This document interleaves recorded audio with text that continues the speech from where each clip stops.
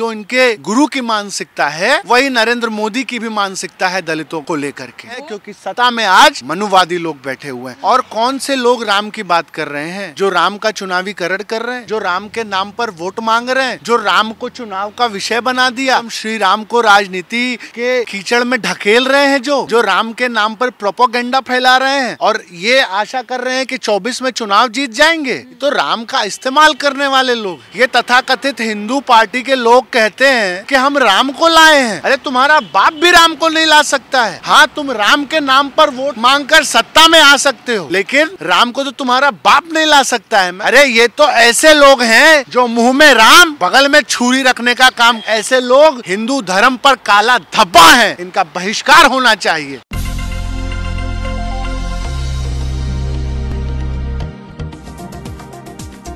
नमस्कार मैं ब्यूटी गिरी राम भद्राचार्य ने जिस तरीके से एक समुदाय को अपमानित करने का काम किया है और कहा है नीच कहा है और तमाम जो बातें कही उसको लेकर लगातार लोगों में गुस्सा बन रहा है और लगातार लोग आवाज़ उठा रहे हैं और इसी मुद्दे पर बातचीत करने के लिए मौजूद हैं अतुल त्रिपाठी। क्या कहेंगे एक ब्राह्मण क्या कहेगा दूसरे ब्राह्मण की अपशब्दों पर?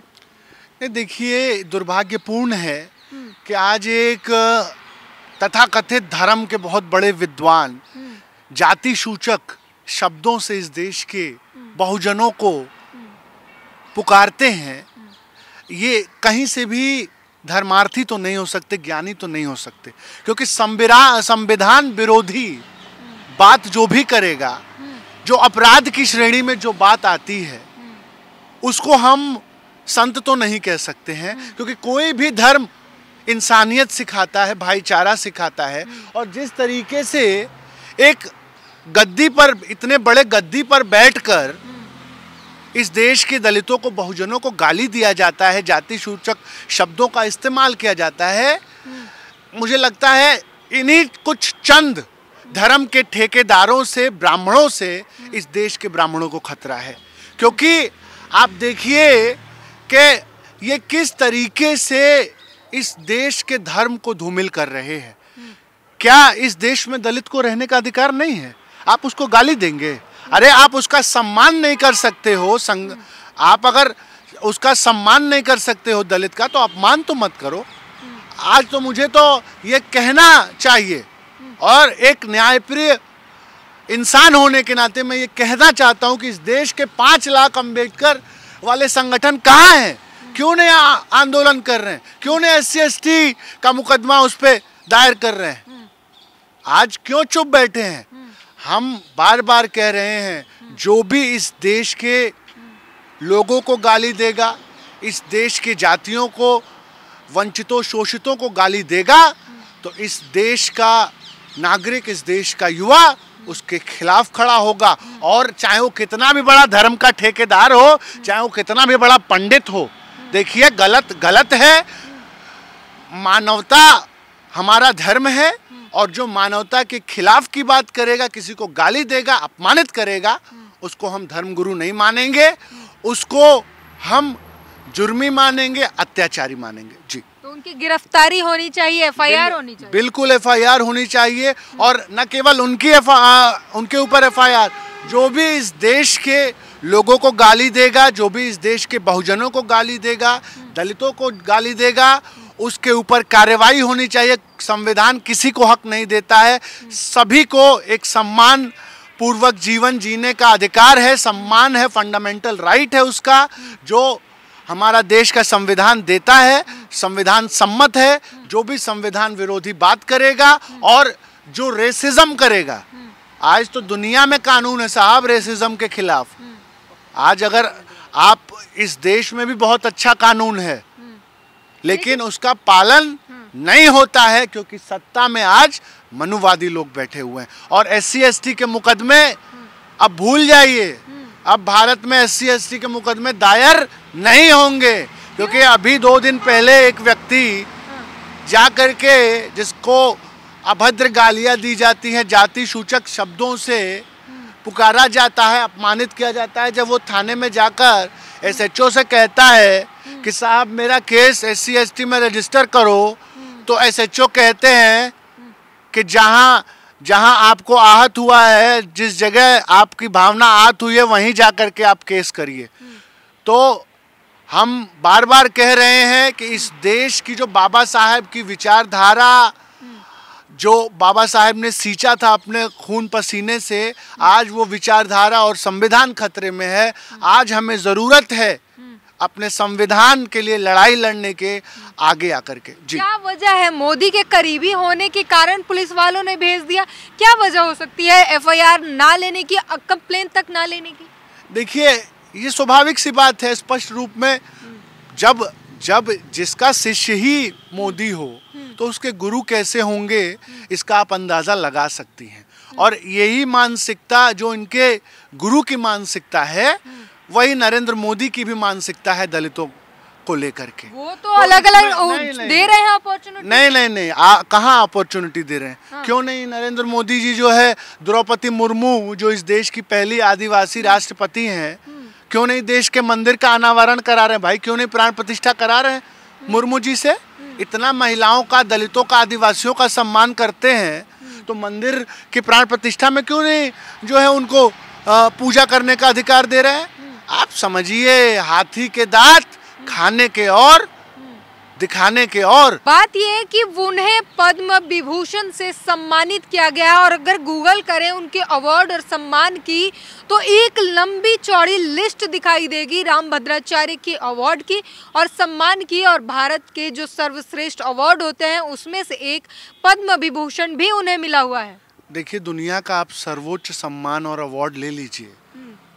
और आप अधार्मिक और अनैतिक बात बोलेंगे किसी को गाली देंगे तो कहीं ना कहीं ये सारा जो अवार्ड और तमगा आपको मिला है उसको आप धूमिल कर रहे हैं। हम ये कह रहे हैं कि आज क्या इतनी ज़रूरत है कि इस देश के लोगों को मानव नहीं समझा जाए। क्या धर्म ये कहता है? क्या गीता ये कहती है? क्या रामायण कहती है कि कोई अगर किसी दूसरे वर्ण में पैदा हुआ है तो उसको अपमानित किया जाएगा उसको गाली दिया जाएगा उसका शोषण किया जाएगा। कहाँ लिखा है? और आज भी अगर हज़ारों साल के बाद भी जब हम इक्कीसवीं सदी में प्रवेश कर चुके हैं तब भी अगर धर्म के ठेकेदार किसी एक जाति का शोषण करेंगे उसको गाली देंगे उसको मानवता मानवता के खिलाफ जा कर के उसको जो है आ, उसको देखेंगे तो मुझे लगता है कि ये धार्मिक व्यक्ति नहीं हो सकता है, ये धार्मिक आदमी हो ही नहीं सकता, क्योंकि धर्म ने हमेशा लोगों को जोड़ा है। धर्म ने हमेशा धर्म धारण करने का विषय है और धारण करने के साथ एक होने की अवधारणा भी धर्म पैदा करता है। अतुल जी, अगर बात करें उनकी जो लाइन है कि जो राम को नहीं भजता, वो नीच है। इसको किस तरीके से देखेंगे? क्योंकि आज़ादी हर किसी के पास अपनी है, वो जो भी चाहे करेगा। मन करेगा तो मानेगा, नहीं मन तो नहीं मानेगा, उसकी अपनी निजी राय है। तो वो कहना कि जो राम को नहीं भजेगा, वो नीच है। देखिए, जो मैं समझता हूँ कि जो मानव को मानव ना समझे, वो नीच है। क्योंकि राम को भजने वाला तो अंगुली माल भी था। मरा मरा मरा मरा करके हाँ। राम राम हो गया और उसको जो है उसका जीवन सुधर गया। तो राम को आप किस तरीके से देखते हैं ये एक बहुत बड़ा प्रश्न है। और कौन से लोग राम की बात कर रहे हैं? जो राम का चुनावीकरण कर रहे हैं जो राम के नाम पर वोट मांग रहे हैं जो राम को चुनाव का विषय बना दिया। हमारे मर्यादा पुरुषोत्तम श्री राम को राजनीति के कीचड़ में ढकेल रहे हैं जो जो राम के नाम पर प्रोपोगेंडा फैला रहे हैं। और ये आशा कर रहे हैं कि 24 में चुनाव जीत जाएँगे। ये तो राम का इस्तेमाल करने वाले लोग हैं। राम राम राम को धारण करने के विषय हैं। राम के मर्यादा को, राम के आचरण को, राम के स्वभाव को, राम के धर, धर्म, धार्मिक कार्यों को उनका पालन होना चाहिए। लेकिन यहाँ तो राम की तस्वीर को ही छोटा कर दिया जाता है, राम जी के तस्वीर को, और नरेंद्र मोदी के तस्वीर को बढ़ा दिया जाता है। ये तथाकथित हिंदू पार्टी के लोग कहते हैं कि हम राम को लाए हैं। अरे, तुम्हारा बाप भी राम को नहीं ला सकता है। हाँ तुम राम के नाम पर वोट मांगकर सत्ता में आ सकते हो। लेकिन राम को तो तुम्हारा बाप नहीं ला सकता है। मैं तो खुले सीना ठोक के कहता हूँ इस बात को। और एक बात और सुन लीजिए। शंकराचार्यों का अपमान नहीं सहेगा हिंदुस्तान। सवाल और मेरा हो गया था कि इन बाबाओं का ट्रेंड चला हुआ है क्या? कि एक समाज को अपमानित करना है, किसी कभी जूते से पानी पिलाते हैं, कभी अपने सर जो है अपने पैर पे रखवाते हैं, बागेश्वर बाबा को देख लें या इनको देख लें, सबका यही जो है गिना चुना आता है कि एक समाज को अपमानित करके ही इनकी तसल्ली जो मिलती है। और दूसरी तरफ़ अगर आपके लिए कहें तो ये जो ऑडियंस है, वो ये भी कह सकती है कि हाँ एक पहले करता है और दूसरा लिपापोती करने के लिए आता है। क्या कहें? नहीं देखिए ऐसा नहीं है।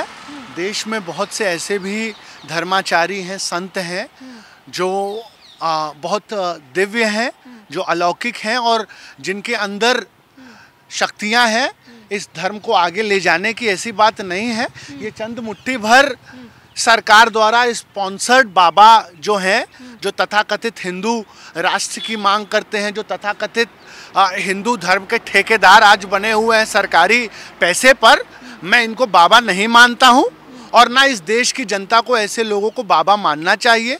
बहुत से राम कथा वाचक हैं इस देश में जो अपना काम बहुत ईमानदारी से कर रहे हैं और अपने जो धर्म का प्रचार है वो बिना किसी को आहत किए, बिना किसी को अपमानित किए कर रहे हैं। ये चंद मुट्ठी भर लोग हैं और ये वही लोग हैं जो मनुस्मृति को मानते हैं, जो वर्ण व्यवस्था को मानते हैं, जो मानव को मानव नहीं समझते हैं, ये वही इनको आप धर्म गुरु मानने की जो है चेष्टा मत कर दीजिए। और इस देश का दलित भी इन मुट्ठी भर लोगों को जो है वो हिंदू धर्म का ठेकेदार न समझे। ये लोग एक सरकार द्वारा पैसे पर काम करने वाले लोग हैं। जाके देखिए ना ये जितने मठाधीश मोदी मोदी कर रहे हैं, इन सबके ट्रस्ट का एक बार जाँच करा लीजिए। जब से मोदी सरकार आई है, पाँच गुना संपत्ति बाबा बागेश्वर से लेके और तमाम इन बाबाओं का बड़ा है। इसकी कोई जाँच कराएगा? अरे, ये तो ऐसे लोग हैं जो मुँह में राम, बगल में छुरी रखने का काम, एक साध्वी है जो सांसद है।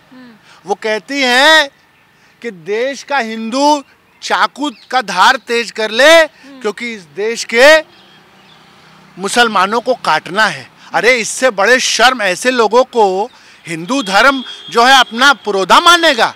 अरे, ऐसे लोग हिंदू धर्म पर काला धब्बा हैं। इनका बहिष्कार होना चाहिए, बहिष्कार होना चाहिए। तो बड़ी बात कही इन्होंने और लगातार जो है राम भद्राचार्य को लेकर अलग अलग सबकी प्रतिक्रियाएँ आ रही है। आप अपनी प्रतिक्रिया ज़रूर दीजिए। कैमरामैन आशीष के साथ ड्यूटी गिरी, धन्यवाद।